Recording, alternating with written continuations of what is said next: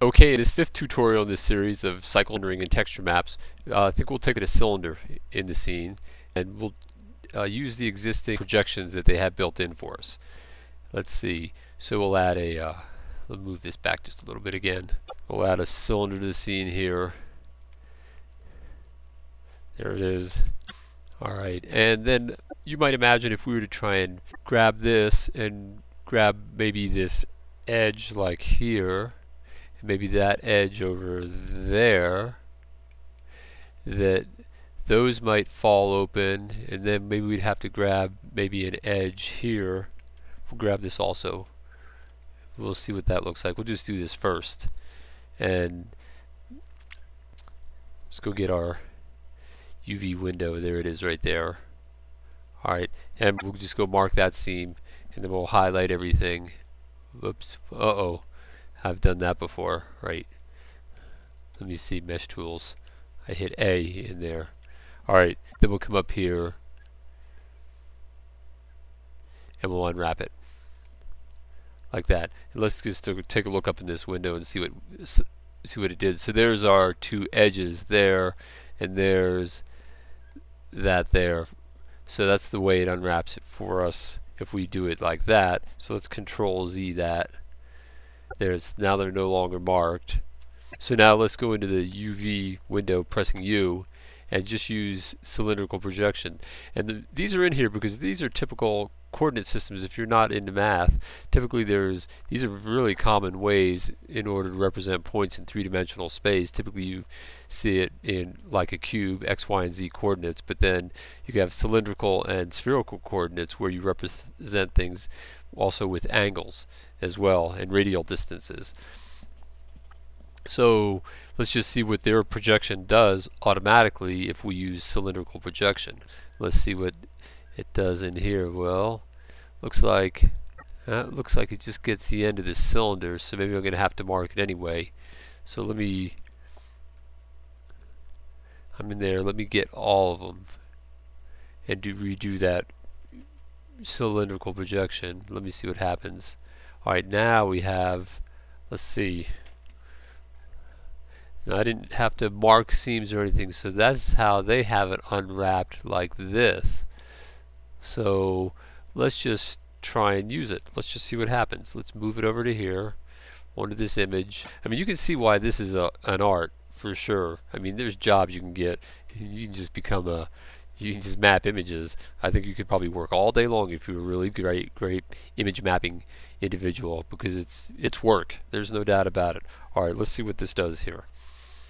All right, and then we'll go to the node editor. Make sure you have a material. Add a texture. Connect it up. Let me see what image what image was that? Does it say? Oh no, uh, my. See if I can see the name. But simple, simple tests two. All right.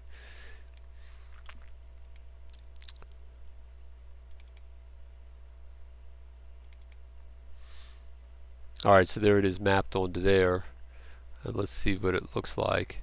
Notice there's no input on it like that. And then when out of edit mode it still works. So there it is mapped into the scene. Like this let's just uh, rotate it on Z. A little bit. So there it is. That green is up at the top edge of it there. Rotate it on X a little bit.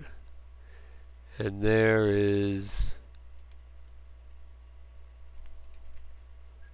let's see. So let's try and line it up. You notice they have that in there. So We'll go look in the UV image editor.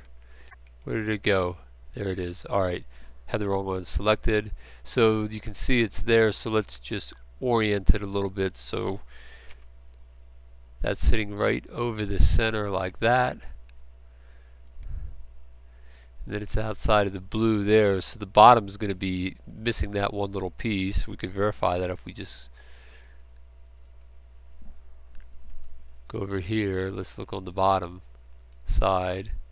Up there it is. There's that little piece that's missing like that right there. See, there's that gray right there. But I want it in the center, so let's just take the whole thing and just scale it down just a little bit. And you see it goes away right like that.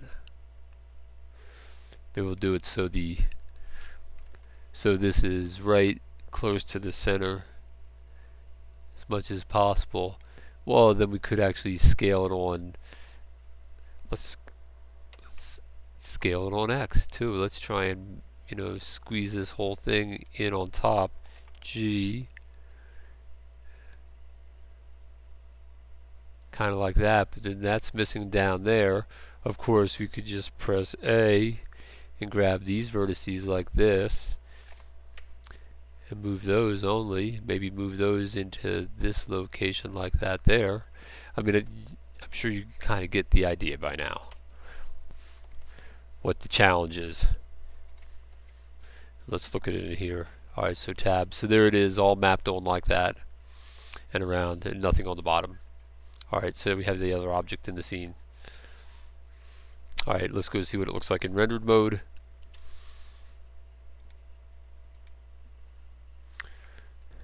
Yep, okay, well now we're still going to need a little more red towards the front of the scene, you know. This getting a little bit overpowered with yellows. We have some blues in the background. Alright, well that's it for this lesson. I'll see you in the next lesson.